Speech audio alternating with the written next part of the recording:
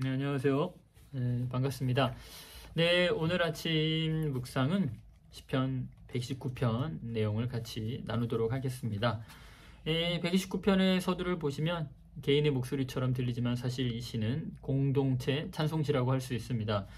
이 129편에서의 개인의 목소리가 사실은 이스라엘 신앙 공동체의 전체 목소리를 대변한다고 할 수 있는데 그래서 이 시는 성전에 올라가는 노래, 즉 예루살렘으로 가는 순례자들이 불렀던 노래라고 할 수 있습니다.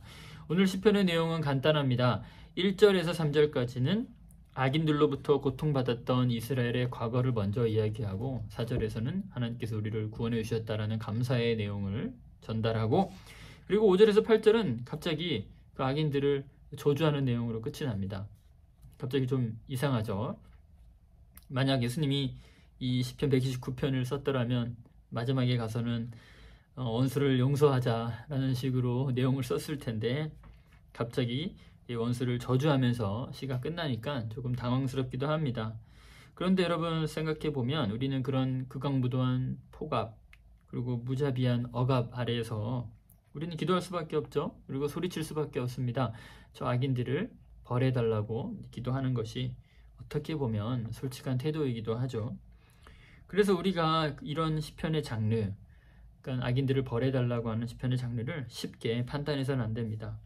왜냐하면 세상에는 정말 이루 말할 수 없을 정도로 고통 속에서 정의를 외치는 사람들이 참 많기 때문입니다. 그래서 여러분 우리가 고통 당하는 사람들 앞에서 원수를 사랑하세요, 원수를 용서하세요라고 쉽게 말을 해서는 안 됩니다. 왜냐하면 그런 말을 했을 때그 사람들에게 깊은 상처를 입힐 수 있기 때문이죠. 그래서 저는 때때로 어, 그 말은 죄를 용서할 수 있었던 예수님 외에 그 누구도 쉽게 해서는 안 되는 말이라고 생각합니다. 물론 우리도 무언가를 해야만 합니다. 악인들과 죄가 창궐하는 세상에서 우리가 죄를 품지 않고 또 죄를 멀리하면서도 사람에 대한 희망을 완전히 저버려서는 안 되는 태도를 견지해야 하는 거죠. 그래서 10편 129편 5절을 오늘 우리가 주목할 필요가 있습니다. 5절에는 시온을 미워한다라는 표현이 등장하는데요. 여기서 사용, 사용된 미워하다 히브리어 사내는 이 히브리어 성경에서 가장 강력한 단어 중 하나입니다.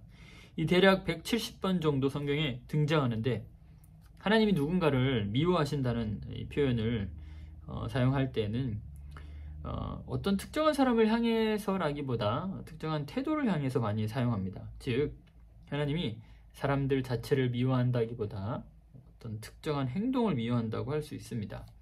아마 여러분 이런 이야기는 많이 들어보셨을 겁니다.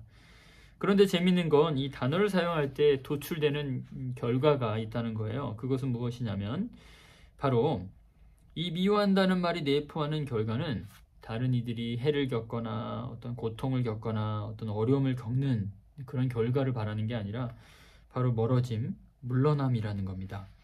즉, 미워한다는 말에는 어떤 응보나 징벌이 수반되는 것이 아니라 바로 멀어지는 결과로 이어진다는 거예요.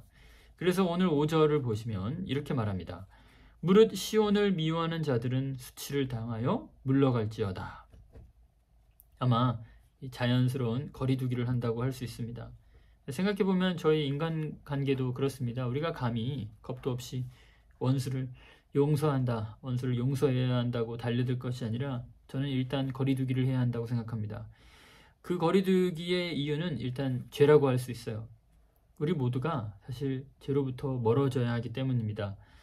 어떤 악인 때문에 혹은 구조적인 악 때문에 우리가 그 죄로부터 영향을 받는다면 그리고 우리가 그 억압과 포악으로부터 벗어날 수 없다면 우리는 일단 멀어짐을 택해야 합니다. 그리고 그 죄를 짓는 이들이 죄에서 벗어날 수 있도록 어, 진심으로 기도해야 합니다. 그 사람이 자신의 부정함을 직면하고 회복되기를 진심으로 바래야 합니다. 네, 그러다 보면 혹시라도 때가 차서 하나님이 회복의 은혜를 부어 주실지 모릅니다. 물론 이것은 매우 어려운 일입니다. 그래서 시편의 기자처럼 솔직하게 저주의 기도를 올리는 게 더 옳은 방법일지 모릅니다. 그러나 제가 오늘 어, 권면하고 싶은 내용이 있다면 그것은 우리가 어쩔 수 없이 하는 그 저주의 기도 속에서 아니면 미움의 말 속에서 가시를 제거했으면 좋겠다는 것입니다.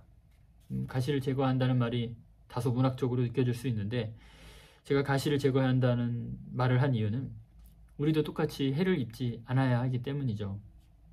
우리가 어떤 사람을 미워하고 어떤 죄를 미워하다가 혹시라도 그 죄를 담고 어, 그 악들을 똑같이 행할 수 있는 그런 우리도 연약한 사람 그런 가능성을 가지고 있는 사람이기 때문에 우리도 기도를 하면서 또 죄를 멀리 하면서 계속해서 그런 훈련들이 필요하다는 겁니다. 만약 우리가 그런 훈련을 하지 않고 나는 충분히 뭔가 원수를 용서할 수 있다. 나는 충분히 어떤 그 죄들을 멀리 할 수 있다라고 단언한다면 저는 그것은 조금 위험한 태도라고 생각합니다. 그래서 저도 여러분들도 어, 우리가 죄를 멀리하고 또 악인들을 미워하되 어떨 때는 미워해야 되죠. 그럴 때 우리가 너무 그 가시를 어, 품지 않았으면 어, 좋겠다는 생각을 합니다. 네, 감사합니다. 그럼 저는 다음에 또 인사드리도록 하겠습니다.